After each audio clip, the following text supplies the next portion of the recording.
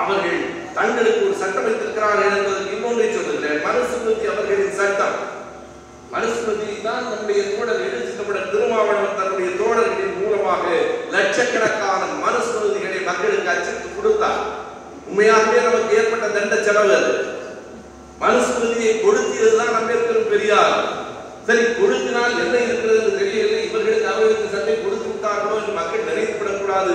நீங்களே படித்து பாருங்கள் என்று கொடுத்தால் நாராயண திருப்பதி என்று ஒரு நல்ல மனிதன் இருக்கிறார். நான் இதெல்லாம் சொன்னால் சித்தராயனுக்கு கோபம் வரும். அந்த மனிதனை எல்லாம் என் பெயர் சொல்லி சொல்லுகிறீர்கள் என்று கேட்பார். நாராயண திருப்பதி சொல்லுகிறார் மனுஸ்மிருதி அச்சிட்டு மக்களுக்கு கொடுத்தவர்களை கைது செய்ய வேண்டும். நான் சொல் நான் பொய் சொல்லவில்லை. அவருடைய வீட்டில் இருக்கிறது.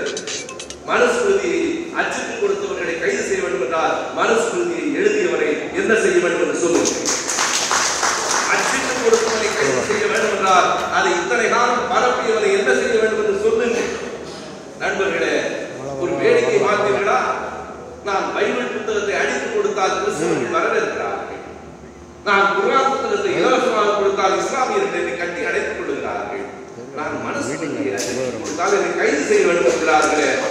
இவர்களுக்கு என்ன ஒரு யோகியதை இருக்கிறது உன் சொந்த சட்டத்தை நீ சொல்லுகிற நீ தலையில் தூக்கி வைத்துக் கொண்டு இத்தனை காலம் ஆடிய ஒரு புத்தகத்தை எடுத்து மக்களிடத்தில் கொடுத்தால் ஏனென்றால் மக்களுக்கு இதுவெல்லாம் தெரிந்து விடக்கூடாது மனுஸ்மிருதி பெண்களை எத்தனை இனிமாக பேசுகிறது என்று தெரிந்து விடக்கூடாது நான் அந்த மனுஸ்மிருதியினுடைய அத்தியாயத்தையும் பக்கங்களையும் அந்த ஸ்லோகத்தையும் சொல்லி பல கூட்டங்களிலே சொல்லி இருக்கிறேன் பெண்களிடம் எப்போதும் கவனமாக இருங்கள். அவர்கள் எந்த நேரமும் விபச்சார எண்ணம் கொண்டவர்கள் என்று எங்கள் பெண்களை சொல்வதற்கு எவருக்கும் உரிமை. எங்கள் பெண்களை என் சகோதரியை என் தாயை என் மகளை என் மனைவியை என் காதலியை நீ யாராக இருந்தாலும் எங்கள் பெண்களை விபச்சார நோக்கமுடையவர்கள் என்று சொல்லுகிற ஒருவரை நாங்கள் எப்படி மதிப்பாக பேச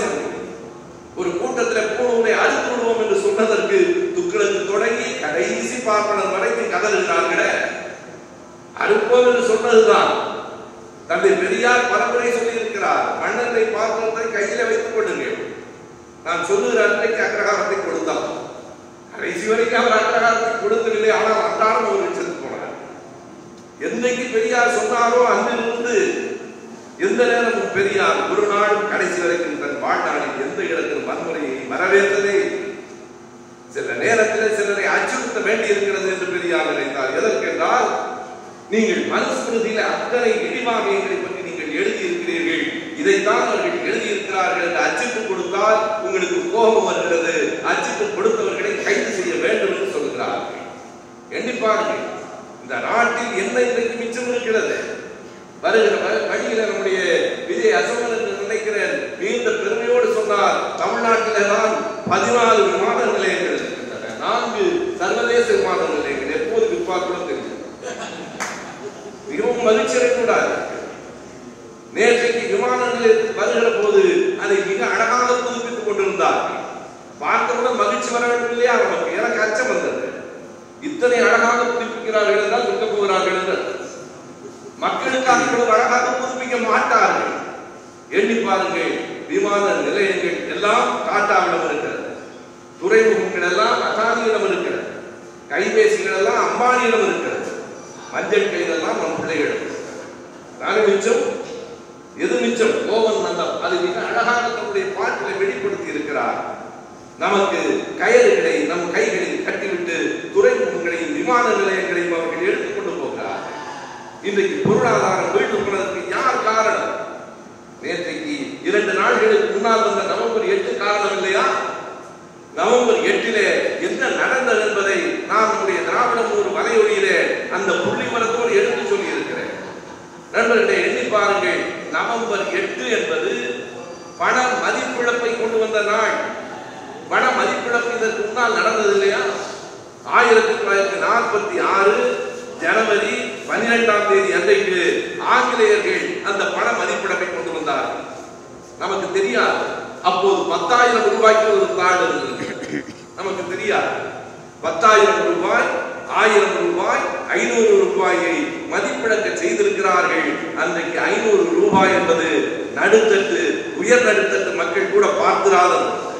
இன்றைக்கு இருப்பதை போல நீங்கள் கருதிவிடக்கூடாது. அன்றைக்கு ஒரு அணா இரண்டு அணாவுக்கு இருந்தது. மதிய உணவு இரண்டு அணா என்றால் பனிரெண்டு காசு. இன்றைய கணக்கில் பனிரெண்டு காசு. ஆயிரத்தி தொள்ளாயிரத்தி எழுபத்தி ஒன்றில் நேற்றைக்கு முன்தினம் பேசுகிற போதுதான் ஒரு இடத்துல சொன்னேன் பேராசிரியர் காசு பிள்ளை அவர்கள். கா சுப்பிரமணிய பிள்ளை என்ற அவருடைய பெயர். மிகப்பெரிய தமிழ் அறிஞர். சமஸ்கிருதத்திலேயும் வல்லவர். சைவத்திலே ஊறி திளைத்தவர். இந்திய எதிர்ப்பு போராட்டத்திலே கலந்து கொண்டார். இறுதி நாட்களில் திருநெல்வேலியில இருக்கிற போது அவர் உடல்நலமற்று இருக்கிறார் பொருளாதார வளமற்று இருக்கிறார் என்று கேள்விப்பட்டு ஐயா பெரியார் அவர்கள் மறுபடியும் நான் சொல்லுகிறேன் கவனித்துக் கொள்ளுங்கள் அவர் தமிழறிஞர் என்பதோடு மட்டுமில்லை அவர் சைவத்திலே ஊறி திடைத்தவர். அப்பர் சம்பந்தர் சுந்தரர் திருஞான சம்பந்தர் நான்கு பேர் வரலாற்றை எழுதியவர். பெரிய புராண வரலாற்றை எழுதியவர். எந்த நேரம் பெரிய புராணம் பற்றி பேசிக் கொண்டிருந்தவர். அவர் உடல் நலிவுற்றிருக்கிறார் என்று அறிந்து அவருக்கு யார் மூலமாகவோ இல்லை நண்பர்களே பெரியார் ஈரோட்டிலிருந்து திருநெல்வேலிக்கு போய் கையில் கொஞ்சம் பணம் கொடுத்து விட்டு மாதந்தோறும் நான் ஐம்பது ரூபாய் உங்களுக்கு அனுப்பி வைக்கிறேன் என்று சொன்னதை அவர் பதிவு செய்திருக்கிறார். இந்த இடத்தில் பெரியார் பதிவு செய்யவில்லை. ஐம்பது ரூபாய் கொடுத்தது பெரிதா என்று கருதாதீர்கள். அது ஆயிரத்தி தொள்ளாயிரத்தி நாற்பத்தி ஐந்து. ஆயிரத்தி தொள்ளாயிரத்தி நாற்பத்தி ஐந்தில் ஐம்பது ரூபாய் என்பது நான் கூட்டி சொல்லவில்லை. இன்றைக்கு ஏறத்தாழ இரண்டு லட்சம் ரூபாய்க்கு சமம். ஐம்பது ரூபாய் சாதாரணம் இல்லை அனுபவத்திலிருந்து சொல்லுகிற ஆயிரத்தி தொள்ளாயிரத்தி எழுபத்தி ஒன்றில் சென்னை பல்கலைக்கழகத்தில் தட்டச்சராக நான் பணியில் சேர்ந்த போது என்னுடைய ஊதியம் வெறும் நூற்றி நாற்பத்தி ஐந்து ரூபாய் மாதத்துக்கு நூற்றி நாற்பத்தி ஐந்து ரூபாய்க்கு அன்றைக்கு மகிழ்ச்சியாக இருக்க முடிந்தது. வெறும் கணக்கை நாம் எப்படி பார்க்க வேண்டும்? ஐம்பது ரூபாய் என்றால் அன்றைக்கு ஒரு தங்கம் பவுன் என்ன விலைக்கு விற்றது என்பதை வைத்து கணக்கு பார்க்க வேண்டும். அன்றைக்கு நான் அறிந்து இருபத்தி ஒரு ரூபாய் இருபது ரூபாய் இரண்டு பவுன் தங்கம் வாங்கலாம் இப்படி வைத்துக் கொள்ளலாம். ஐம்பது ரூபாய் கொடுத்தால் என்பதை விட இரண்டரை பவுன் கொடுத்தார் இன்றைக்கு இரண்டரை பவுன் எண்பது லட்சம் எண்பதாயிரம் ஒரு லட்சம் ரூபாய். எதற்காக? உடனுக்குடன் செய்திகளை தெரிந்து கொள்ள சன் நியூஸ் பெல் ஐக்கான கிளிக் பண்ணுங்க.